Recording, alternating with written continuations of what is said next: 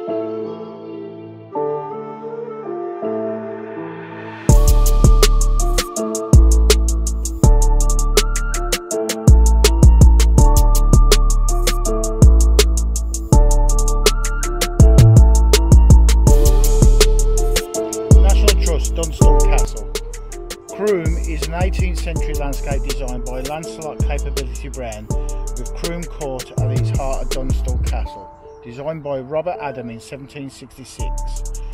is one of Croome's three outer eye catchers. These buildings were designed to catch your eye from the court and other points around the park, ensuring you realise how huge the Earl's estate was. Adam deliberately designed Dunstall Castle as a whimsical folly with elements of both a castle and a church.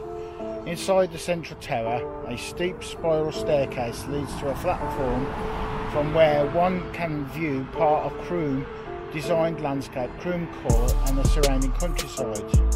By 2009, the castle was getting close to become a real ruin. The National Trust was able to acquire and restore Dunstall Castle in 2010 Thanks to substantial funding from Natural England enable us to piece back together another element of the original design of Croome's landscape.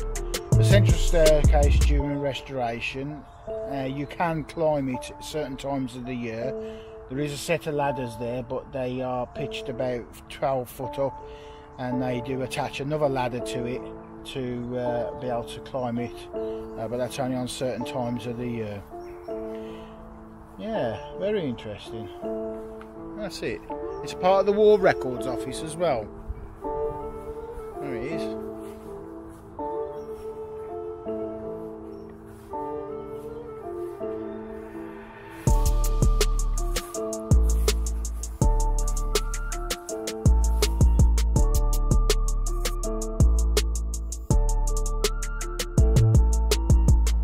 Thanks for joining us today if you like my videos please consider to subscribe or give us a thumbs up. Hit the notification bell for up and coming more videos. This is Chris from KTB Productions. Thank you. Take care